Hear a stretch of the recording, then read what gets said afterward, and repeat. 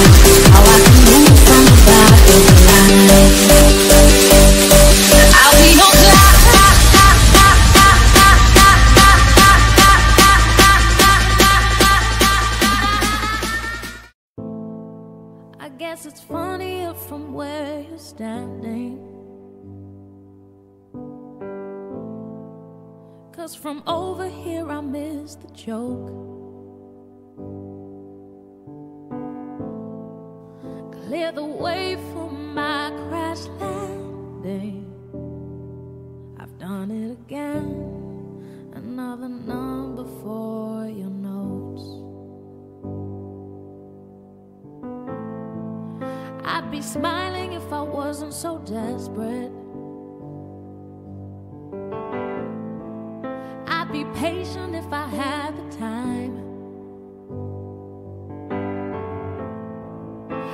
stop and answer all of your questions. As soon as I find out how I can move from the back of a line. Hey, y'all. Hey. Hi, Lauren.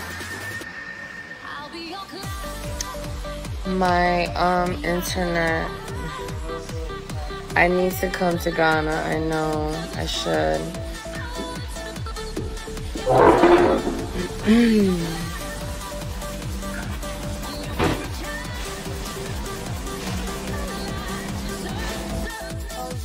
Why is she FaceTiming me and she know I'm trying to have my moment on live? Okay. Hey everyone.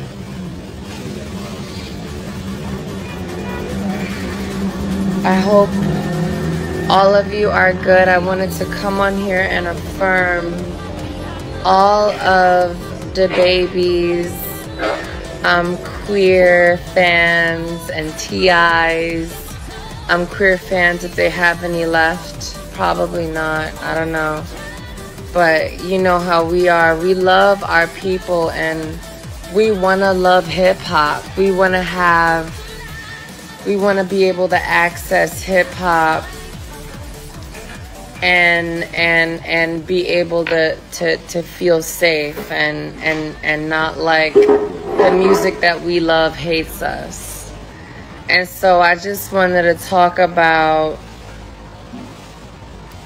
i just wanted to um actually really affirm just our community because you know these are really influential powerful black men and they're continuing to recycle the reasons why people justify um, killing us and terrorizing us and making us so small. And so i just wanted to come here and let us know that we are so beautiful and we are so precious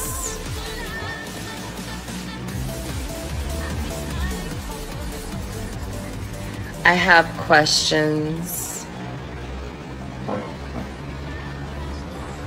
because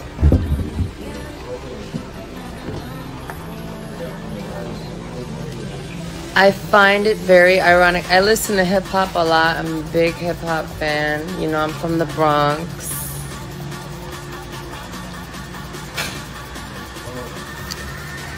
And, um, you know, which is the birthplace of hip hop, three generations from the Bronx. And, you know, I am really disappointed with um, the comments that were made. Lil Baby, um, or DaBaby, sorry, Lil Baby. so many babies. No shade. Um, but I um I just wanted to I just wanted to, to come on here and, and point out some of the hey Channing. I just wanted to point out some of the conflicts and and some of this rhetoric. I'm gonna comment on it. I'm a black queer trans person from the Bronx. And so I'm just gonna create some space to um, deconstruct some of the stupidity that um, DaBaby is delving in. First of all, niggas like DaBaby are the same people who brag about not using protection when they're having sex in their rap songs. I'm gonna say it again.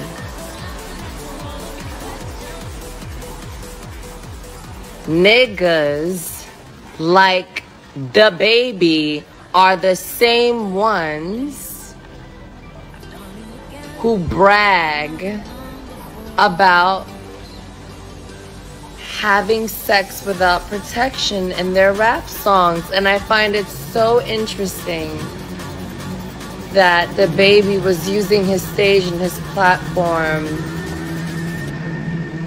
to marginalize particularly to to set his fans aside who may actually have been um, you know i was raped when i was 18 years old and you know i was infected with two sexually transmitted diseases one of which was life was life threatening. And this is the first time I'm speaking publicly about it, and I'm going to because it struck a very personal chord for me. so, on my 18th birthday, I was sexually assaulted. Actually, by a young man who recently hit me up and, you know, in my case, this was somebody that um, I trusted, and they got me drunk, and they gave me K2 instead of weed. And um, I just was really fucked up. And they penetrated me, and I ended up contracting two very serious STIs, deadly, life threatening STIs. Um, I know that there are a lot of people who have experiences with living with HIV and other potentially deadly um, sexually transmitted diseases. You know, I think there is never a reason to shame someone for surviving anything.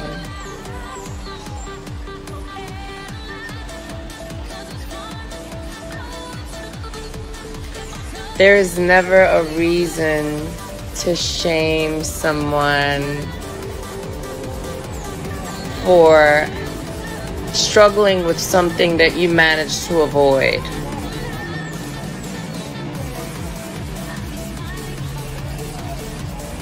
I think it's also stupid to make your fans feel small,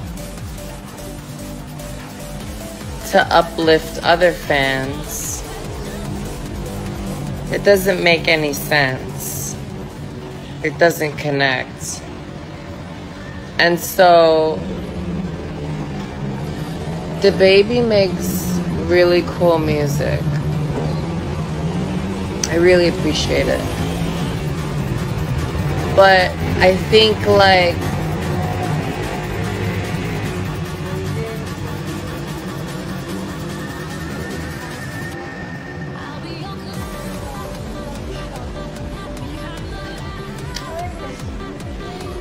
it's just so hurtful to me actually that these things were said and then that TI doubled down the way that he did. We already have issues with the ways that TI doesn't respect um, the autonomy of women and femmes, particularly his daughter. He showed his ass um, with his own family, the women in, in his own family. But I find it really interesting the way that he doubled down, y'all, because he tried to equate Lil Nas creating space for queer people, especially queer black people, to be able to exist in power and in truth and without hurting and making other people feel small to do that. To DaBaby creating making making comments that literally make people feel small. If the liberation of queer and trans people makes you feel small,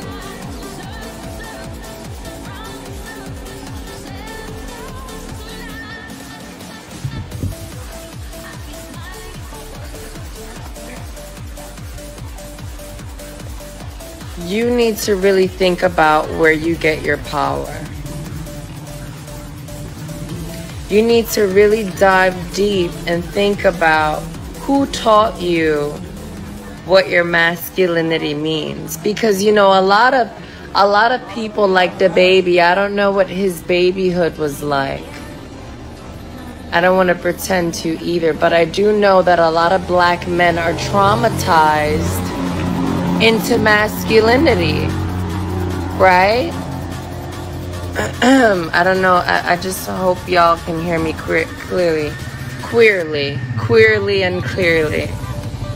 A lot of black men are traumatized into masculinity. They're beaten into masculinity.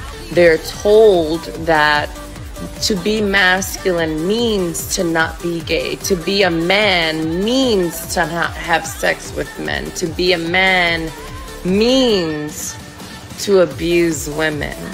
A lot of black men are taught this. A lot of black men are taught that women are property, right? That people are property. And I think it makes sense considering the ways that we were colonized to believe these things. We were property before. And I think that black men find their power sometimes in making other people feel small because we were made to feel small for somebody else to have power. And that is the only way that we understand how to acquire it sometimes.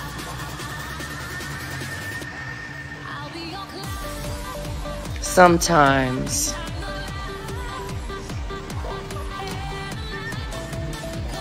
Sometimes.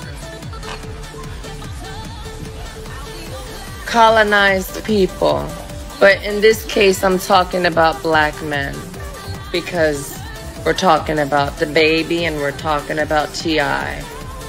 I don't normally like to talk, like, I think before a couple years ago, I would have been more confident talking about other people, other public figures who are making mistakes publicly um, in ways that are harming my community. But I feel less inclined to talk about what other people are what uh, what other people are doing the mistakes that they the mistakes that they make. Because people are complicated and we never know why people are making these mistakes. We never know we I don't know what DaBaby went through. I don't know what DaBaby survived is surviving. Maybe DaBaby is, you know, is is living and struggling with all these things that he wanted to uplift his fans for because these are struggles that probably he knows very intimately and and he doesn't know how to talk about that. And so he wants to uplift the people who aren't going through that because he hates himself for what he has survived or maybe what he's going through and is struggling to survive. I don't know. But I do know. But I do know, you know, DaBaby as a human being needs to get his shit together. And because I don't believe in throwing black men away, I want to challenge DaBaby to really get his shit together. NTI. When you live in a bubble with people who only affirm everything that you think and say and believe, you start to just live your life thinking that it's true. You don't have anyone around you to challenge your beliefs. You don't have people around you who are different from you because you have so much power that you are literally keeping everyone away who doesn't think, believe, or exist like you. We are struggling as a people. We really are. We really are spiritually. Spiritually, because the only reason that the baby and T.I. make these rhetorics is literally for power. Without, if queer and trans people still weren't in in in the in in conversation still weren't and still didn't exist in conversations where we're being debated whether you know we're still in this ambiguous place of are we okay to exist or are we not okay to exist if we if we if we weren't marginalized the way that we were what would they have to rap about or to uplift each other with?